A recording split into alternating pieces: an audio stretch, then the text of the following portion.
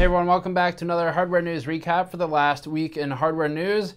We're talking about HBM2 updates and the production schedule by Samsung today, along with some additional news items on the AMD Threadripper Ryzen boxes that were shown. Not really much to say there other than show them. She's fine, she jumped down. And the um, we've got news on a possible Corsair acquisition that was discussed a lot last week. Hasn't really gotten any new updates since then.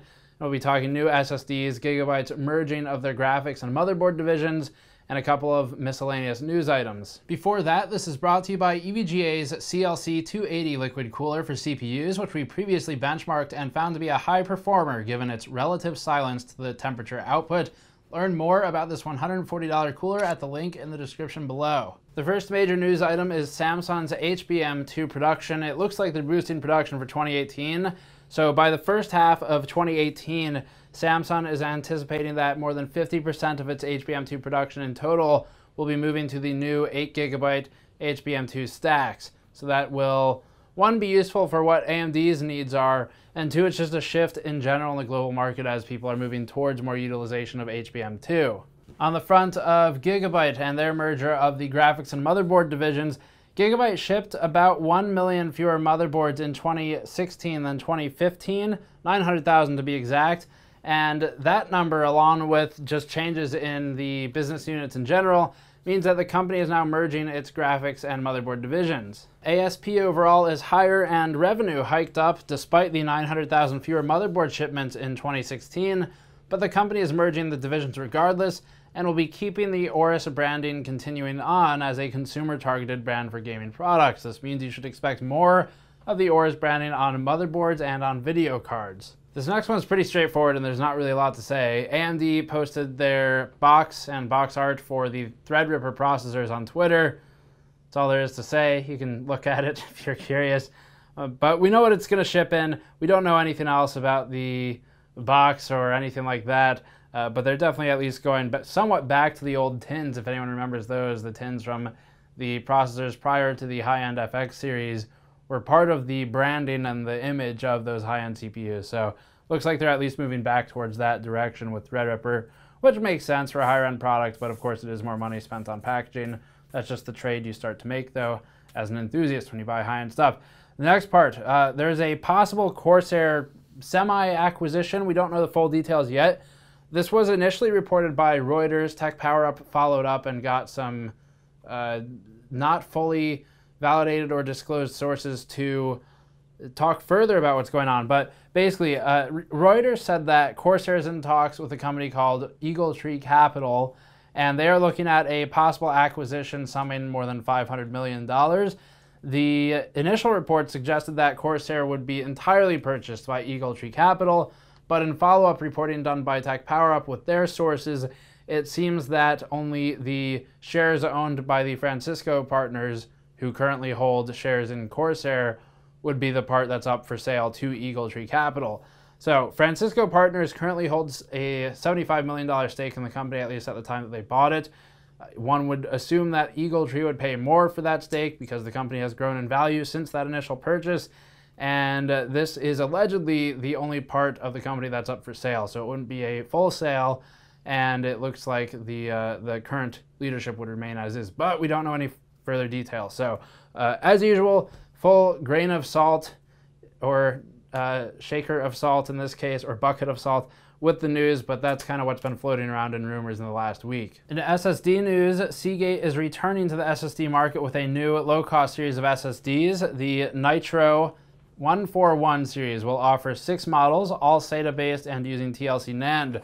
The lowest cost to capacity ratio is in the 256 gigabyte models and is currently looking to be selling for $85. Other capacities offered include 240, 485, 12, 960, and 1024 gigabytes or 1 terabyte. All drives are in the 2.5 inch form factor, offer up to 300 terabytes of total bytes written, and a 1.5 million MTBF rating. Seagate has the six models demarcated between performance, endurance, and cost competitive capacities. All drives come with a five-year warranty. Western Digital's Blue Series and SanDisk's Ultra series of SSDs are also seeing an update to the 3D BICS flash and will offer higher capacities up to one terabyte for Western Digital Blue and two terabytes for SanDisk Ultra. The new drives are said to be shipping, but it is not known when retailers, or if they have already, will be receiving the new stock. Both the WD Blue and SanDisk Ultra use identical hardware, 64-layer TLC provided by SanDisk, and a Marvell 88SS1074 controller. The WD Blue units will be offered in both 2.5-inch and M.2 options, and SanDisk looks to only offer a 2.5-inch configuration. As before, both series of drives will operate via the SATA 6 gigabit per second interface, Prices for the refreshed WD Blue and SanDisk Ultra start at $90 and $100 respectively. With the craze surrounding M.2 cooling lately, we can't seem to escape another company shipping another M.2 cooler each week. AlphaCool is now adding two more to the mix. So they've got the HDX3 and HDX2. The HDX2 is a passive solution. It will support 80 millimeter form factor M.2 devices on a PCIe expansion card and then the HDX3 will use a nickel-plated copper water block and standard G quarter inch threaded fittings for its cooling, so it fits into an open loop. The HDX2 is using a large aluminum heatsink and then just passive operation. We need to look into this more because it seems people keep pushing these heat sinks and as we've said in the past, you really just kind of want to cool the controller and leave everything else alone. Uh, so it'll be interesting to see if endurance is hindered in any meaningful way by cooling the flash with liquid because that really brings temperatures down a lot more than what they would be designed to operate at. Uh, and with flash, cooler isn't better. With controllers, that is the case though. But either way, AlphaCool's got some new M.2 SSD coolers coming out. In miscellaneous news, Arctic Cooling is preparing for Threadripper and they're priming their line of liquid freezer AIOs for the TR4 socket. The liquid freezer line of coolers all use a 12 volt water pump, copper cold plates, and radiators in sizes of 360, 240, and 120 millimeters. All radiators come equipped with Arctic Cooling's F12 120 millimeter fans. The liquid freezer 360 offers a TDP of 300 watts while the 240 and 120 versions offer TDPs of 250 watts. Presently, the Liquid Freezer 360 sells for $140, the 240 for $100, and the 120 for $86. If you ever needed 16 fan headers on a motherboard, Asus, I suppose, has you covered going forward. The ROG Crosshair 6 Extreme is Asus's next line of X370 motherboards for the Ryzen CPUs. This is not for Threadripper, mind you. And the base unit of the Crosshair 6 Extreme includes 13 fan headers on the board. They have a, an expansion card that gives you another three, bringing the total up to 16 if you really needed that. The board is also targeted pretty much entirely at overclocking enthusiasts and water cooling enthusiasts.